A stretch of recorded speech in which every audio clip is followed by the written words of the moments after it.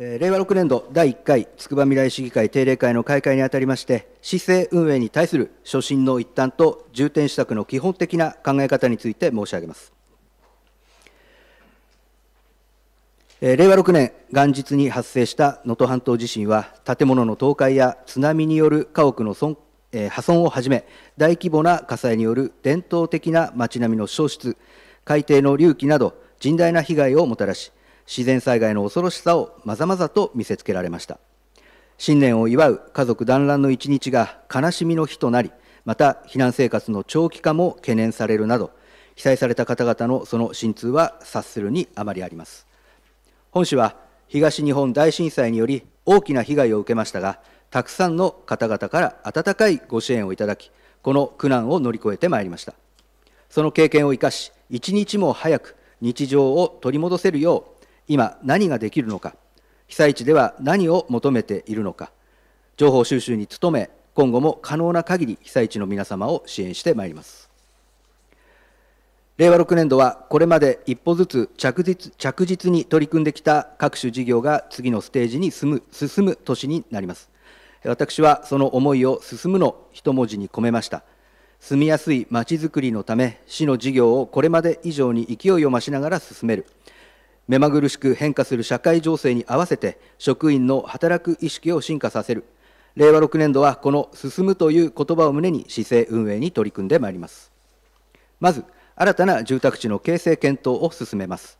本市は平成18年に誕生して以来つくばエクスプレスや未来平地区が牽引役となって全国でもトップクラスの人口増加率を誇る成長著しい自治体として注目されています。先頃国立社会保障人口問題研究所が発表した2050年の将来人口によると全国の約20%の市町村は2050年には総人口が半数未満になると予想される中。つくばみらい市は今後も人口増加が見込まれ5万6千人を超えると推計されております。しかし本市の人口増加な大きな牽引役である未来平地区は成長期から成熟期に移行しつつあり、新たな住宅開発は難しい状況にあります。その一方で、本市はつくばエクスプレスによる首都圏とを結ぶ人の流れの線と常磐自動車道と首都圏中央連絡自動車道による物流の流れの線が備わっており、大きなポテンシャルを有していると注目されています。今、本市が持っているこのポテンシャルと市内外から寄せられている期待を逃さないためにも、また本市の未来につなげていくためにも、スピード感を持って新たな住宅地形成の可能性を検討してまいります。次に、新しい学び屋となる未来平地区新設中学校建設事業が次のステージへ進みます。未来平地区では子どもの数が年々増加していることから、今後、中学生の数も増えることが見込まれています。将来を担う子どもたちの教育環境を整え、さらに安心して子育てができる町を実現するため、令和9年度開校に向けて準備を進めている新設中学校は、令和6年度から工事に着手します。新設中学校のコンセプトは、学校全体が学びの場となる空間づくりで、新しい時代の学びを実現し、生徒の主体的な学びやさまざまな交流を通して社会性を身につけることができる学校づくりを進めてまいります。また、将来的には地域の方々も利用できる地域に開かれた学校となることを目指します。スマートインターチェンジ周辺開発も次のステージへと進みます。現在整備中の仮称つくば未来スマートインターチェンジは地盤改良工事などが順調に進んでいます。また、スマートインターチェンジに接続する一般県道上総取手線の道路改良工事と合わせて、一部片側歩道であった区間の両側歩道化に向けた整備工事が進んでいます。私はこのスマートインターチェンジは単なる車の通過点だけにとどめず、交通の利便性が向上することで、地域の魅力や活力を高めるための未来につなげる、その周辺開発に力を入れていかなければならないと考えております。すでに地権者の方々で構成される仮称つくば未来スマートインターチェンジ周辺地区土地区画整理組合設立準備会が発足し、この度開発を担う事業者が決定いたしました。開発するエリアは3つのゾーンからなる土地利用を予定しております。その1つ目が市民や市外からの訪問者、さらにはスマートインターチェンジ利用者など、子どもからお年寄りまで幅広い世代が集まり、楽しく笑顔で交流、活動できるにぎわい交流ゾーンです。このゾーンには、市民が普段使いできる商業施設や地域の魅力を発信する施設などの設置を検討いたします。2つ目が、農産物の加工、製造など農業の付加価値化を図る拠点として、新産業ビジネスゾーンです。このゾーンには、6次産業施設や地区周辺の農地と連携した地産地消と食をテーマにした体験、交流施設の導入を検討いたします。そして3つ目が、広域交通利便性を生かし、次世代型の物流施設からなる次世代路地ゾーンです。このゾーンにあたる物流施設内には、市民や市外からの来訪者が自由に利用でき、また定期的な地域交流イベントなどにも活用できる公園広場の整備を検討いたします。スマートインターチェンジ周辺開発は、地域経済に活力を生み出すだけでなく、生活や暮らしの場、交流や活動の場として市民に喜んでいただける、そしてつくばみらい市に何度も来たくなる、そんな魅力あふれる開発を進めてまいります。え、人が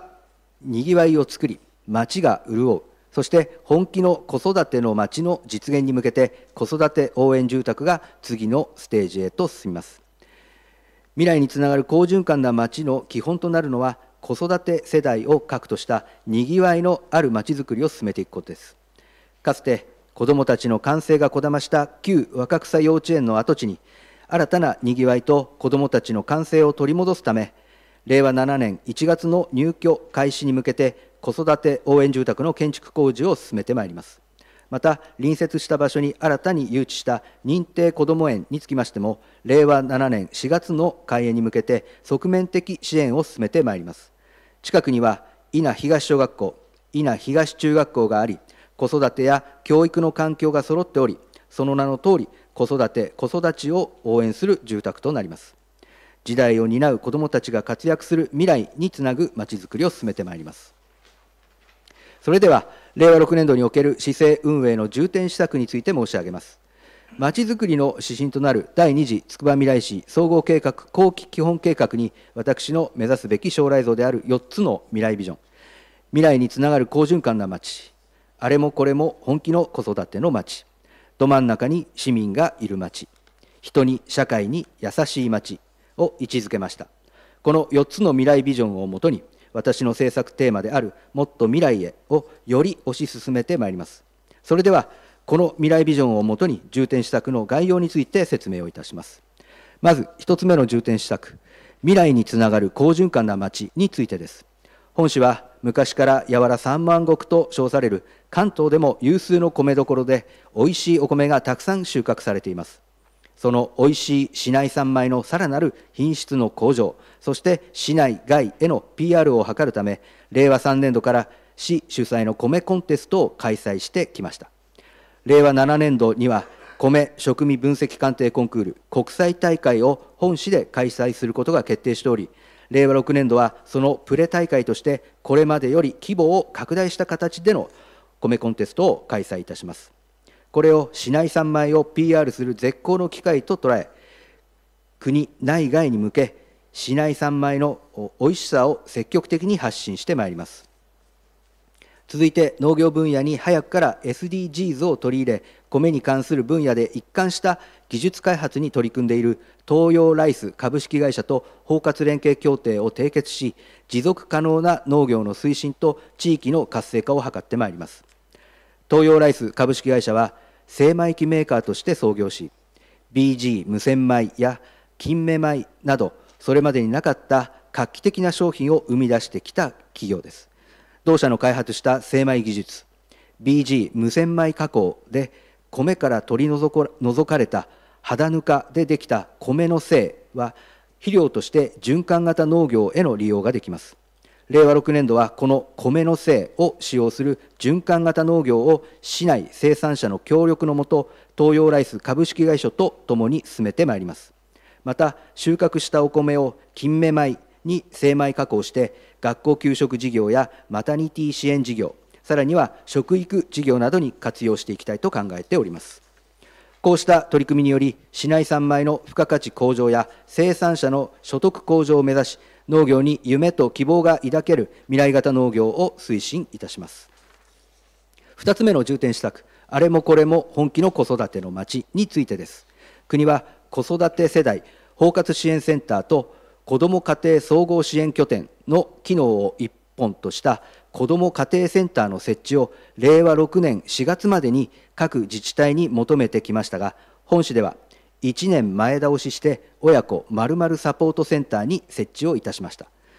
令和6年度はさらにこの子ども家庭センターの機能を強化し、ヤングケアラーコーディネーターを配置して、ヤングケアラーの家庭の状況に応じた対応や、関係機関などと連携した支援を進めてまいります。また、本市では新たな命を生み、育む、え環境整備のため、令和元年から参加委員の誘致を進めてまいりましたが、この度、つくば未来遠藤レディースクリニックが未来平地区に開院いたしました。県内で新しく参加委員が開院するのは13年ぶりとなり市内外から大きな反響をいただきました。日本の社会において少子化や核家族化女性の社会進出など子育てを取り巻く環境が大きく変化する中、父親の子育て参加が増えてきており、母親と同じように子育てに関する悩みなどを抱える方も少なくありません。そこで令和6年度は、つくば未来遠藤レディースクリニックと連携して、子育て中の父親の心に寄り添った支援に取り組んでまいります。さらに、妊産婦が産科医療機関で受診する妊産婦検診やマタニティクラスなどを受講受講するためにタクシーを利用した場合、利用料金の一部を助成してきましたが、令和6年度はさらに子どもが1歳までの乳児検診などにも利用できるよう制度を拡充する拡充するなど、妊娠、出産、子育てまで切れ目ない支援をより一層進めてまいります。また、未来平地区の児童クラブ利用者が増加しており、既存の児童クラブだけでは対応できないため、新たな取り組みとして、令和6年4月から未来平地区に民間の児童クラブを開設いたします。既存の児童クラブとともに、放課後、子どもたちに遊びと生活の場を提供し、子どもたちの健全育成を進めてまいります。国が発表した令和4年度の英語教育実施状況調査では、英語検定、えー、英語検定試験3級相当の力を取得または有していると思われる中学3年生の割合は全国49.2%茨城県52.6%に対しつくばみらい市は71.3%という大変喜ばしい結果が、え、公表されました。グローバル化が急速に進む現代社会では国境を越えた交流やビジネスは日常的となり時代を担う子どもたちにとって国際共通語である英語の重要性がますます高まっており、私はより早い時期から英語に慣れ親しむ機会を増やすことが重要であると考えており、幼少期から、え幼児期から異文化に触れ、興味、関心を持つ素地を育む機会の創設として、えー、私立、えー、公立幼稚園に ALT を専属で1名ずつ配置して、遊びを通して耳から覚える英語教育を充実させてきました。また、市内すべての小学校に英語専科教員を配置し、専門性の高い人材による英語の授業を実施しているほか、ALT を手厚く配置し、自然なコミュニケーションにより、英語をより一層身近なものにする環境づくりにも力を入れてまいりました。さらに、全小学校で教育課程特例校の指定を受けたことから、令和6年度から始まる小学校1年生、2年生の英語の授業を、えー、充実するため、新たに ALT2 名を増員し、英語を通して人と関わり合う楽しさや面白さを味わうことができる英語教育を進めてまいります。幼稚園時代に英語になれる素地を作って、小学校、中学校で一貫した英語教育で実践力が身につく、英語が使える15歳を育成してまいります。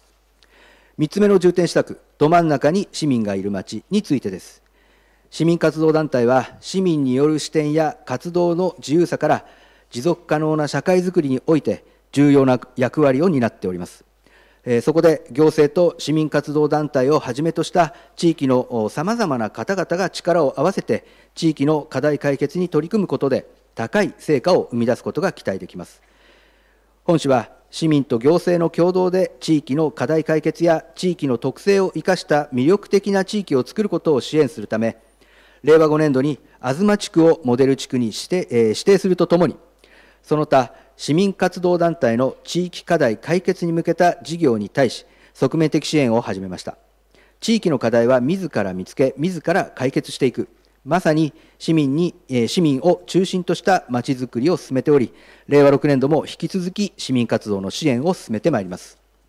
本市には文化、芸術に優れた能力や才能を持ち、各方面で活躍している方がたくさんいらっしゃいます。文化、芸術に興味、関心を持ちつつも、本物に触れる機会の少なかった方もいらっしゃると思います。こうした方々が融合し、つくばみらい市初となる市民参加型のミュージカルを3年間の継続事業として実施いたします。まさに市民の市民による市民のためのミュージカルです。このような市民の皆様の自主的な活動を創造し、地域に対する愛情を育む市民参加型のまちづくり、人づくりを進めてまいります。また、本市のシティプロモーション事業は、市が従来持つ魅力的な資源などを効果的に活用して、市民の交流の促進や地域への愛着を育てることで、市民にとって100年間愛される地元を作ろうを目指し、さまざまな事業を展開してまいりました。これまでも未来アートフェスティバルやワークショップなどを行ってまいりましたが、今後も引き続き市民参加の芸術、創作事業などを通して、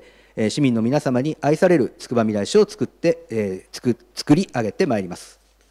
4つ目に、えー、4つ目の重点施策、人に社会に優しい街についてです。複雑さを増す現代社会においては、離婚、生活困窮など、多くの困難な問題が女性を取り巻いております。また、配偶者などからの DV は大きな社会問題となっており、本市においても年々 DV に関する相談案件が増加しています。このような問題を抱えている方々を支援する総合的な窓口として、つくばみらい市女性相談 DV 相談支援センターを設置いたします。当センターでは、女性相談支援員などが問題の解決に向け相談に当たるほか、DV 被害者の住民基本台帳の支援措置など、配偶者暴力相談支援センターの機能を併せ持ち、DV 被害者の安全と自立のために必要な支援をスピード感を持って行ってまいります。高齢の方などを介護している家族は、さまざまな問題を抱えており、不安や孤独などの負担を感じている方も少なくありません。その負担を軽減するため、市民とともに高齢の方をはじめ、誰もが自由に参加できる居場所づくりを行ってまいりました。また、障害を持つ方々が自立した日常生活を営むことができるように、各種事業所とともに福祉サービスの提供に努めてまいりました。令和6年度も引き続き地域の力を活用して人々が人々を支え合うまちづくりを進めてまいります、えー、次に地球温暖化をはじめとする気候変動問題は世界規模での対応が求められている課題です。我が国においても集中豪雨や台風などによる自然災害の激甚化が近年顕著になってきています。こうした状況を踏まえ本市は2050年までに二酸化炭素排出量の実質ゼロを目指すゼロカーボンシティ宣言を行いました。ゼロカーボンシティ実現のため、これまで EV バスをコミュニティバスとして導入し、令和5年度は EV 車2台を公用車として導入したほか、再生可能エネルギーの導入をするためのポテンシャル調査や公共施設などに太陽光発電設備などを導入するための調査を行いました。今後はこの調査結果をもとに公共施設などに太陽光発電設備などの導入を進めるなど、本市のゼロカーボンシティ実現に向けた取り組みを進めてまいります。さらなる市民サービスの向上を目指し、自治体 DX を推進してまいります。マイナンバーカードや運転免許証を活用し、住民移動届などの記入を支援するツールを、稲庁舎、八原庁舎、未来平市民センターの市民窓口化に導入し、私が進める書かない窓口の第一歩が始まります。令和6年度中には、住民移動届の情報を関係する部署と連携させ、書類の記入項目を省略し、書かない、待たない窓口を実現することにより、市民サービスの向上を図ってまいります。また、インターネットを活用した公共施設の利用申請や料金料金決済などが可能になる公共施設予約システムを導入いたします。公民館や日本スポーツ振興パーク未来などの利用申請がスマートフォンから簡単に行えるようになります。なお、当面は窓口での利用申請をも可能とし、スマートフォンなどの操作に不慣れな方へのフォローも行ってまいります。さらに、市の公式 SNS として新たに LINE を開設いたします。LINE が市の公式 SNS に加わることで、市民一人一人に合わせた情報発信ができるようになるほか、いつも使用しているトーク画面での操作で、手軽に電子申請などができるようになります。これらに加えて、妊産婦検診や乳幼児検診などの記録と妊娠から出産、育児に関する情報を必要なタイミングで簡単、手軽に取得することができる子育て支援アプリを導入するなど、子育て支援事業へも積極的に ICT を活用してまいります。今後今後も引き続き自治体 DX を積極的に推し進め、市民の皆様の利便性の向上を図ってまいります。コミュニティバスでは、令和6年4月から新しいルート、ダイヤで運行を開始します。コミュニティバスのルート再編においては、地域公共交通計画の策定の際に実施した市民アンケートと利用者アンケートの調査結果や地域特性などを踏まえつつ、現行ルートの利用状況などの検証を行い、現状の車両5台でいかに効率的な運行ができるかを検討してきました。特に今回のルート再編では、新たに八原地区、十和地区、福岡地区をルートに組み込むことで、市内全地区でコミュニティバスを運行するとともに、絹医師会病院に向かう新たなルートを追加いたしました。私は市長就任前から筑波未来市に総合病院をという声をよく伺ってきました。市内に総合病院ができれば、それは大変望ましいことですが、現時点では医療圏におけるベッド数の制限で、新たな総合病院の誘致はできない状況にあります。そのため、私は市の周辺部にある総合病院に向かう病院バスを創設し、まず、つくば市と取手市にある総合病院をダイレクトに結ぶとともに、コミュニティバスのルートを再編し、守谷市にある総合病院を新たにルートに取り入れるなど、病院への交通手段の確保に努めてまいりました。今回のルート再編により、常総市にある総合病院への交通手段が確保されたことで、より一層市民の皆様の安心につながるものと考えております。このほか、新しいルートでは、未来平駅、守谷駅、小絹駅に加え、三街道駅と緑野駅という近隣市の交通結節点とを結ぶことによって、市民の利便性がますます向上するものと考えます。また、今回のルート、ダイヤ再編に合わせて、福祉の向上を目的として、65歳以上の高齢の方、障害などをお持ちの方、妊産婦、小学生の運賃を市が助成し、実質無料で乗車できるようにいたします。今後も市民の皆様の交通手段を確保するため、さまざまな手法を検討してまいります。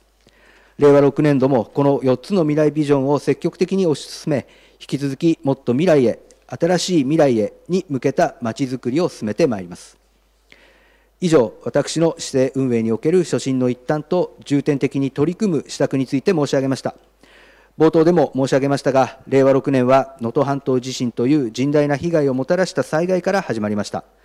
天災は忘れた頃にやってくるという言葉があります。これには天災の恐ろしさを忘れることなく、日々の備えをしなければならないという意味が込められています。しかし、近年、地球温暖化と関連した異常気象が増えている中、毎年のように日本各地で大規模災害が発生しており、今日では天災は忘れる間もなくやってくるという状況です。私が求めるもっと未来への姿を描くため、いつ起きるか分からず避けることのできないこの災害に対して常に備え、まずは市民の皆様が安全に、そして安心して暮らせるまちづくりこそが基本であるとの思いを念頭に置き、全力で取り組んでまいります。令和6年度も引き続き、議員の皆様、そして市民の皆様のより一層のご理解、ご協力を賜りますようお願い申し上げまして、施政方針といたします。